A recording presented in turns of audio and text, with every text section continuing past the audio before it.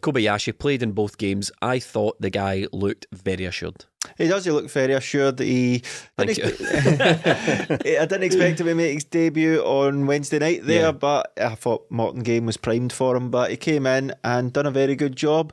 It in turn made Starfelt look very good as well because he's moved on to that sort of natural side. So it will be interesting to see when Carter Vickers is back who drops out. Hmm. I think it will be Kobayashi, but you can see why he's been bought. He he doesn't shrug a challenge. He's decent in there. He was up against Curtis Main in his debut, so that is a, a tough ask for MD. He's a guy that's been about Scottish football, knows what it's doing. So I think he done well. He's a big boy. He's his passing is very good. Yeah, I think he's very good on the ball, doesn't he? I think he's very.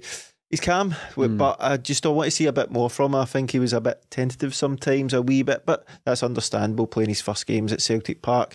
Not the best opponents, but I think there'll be more to come from him.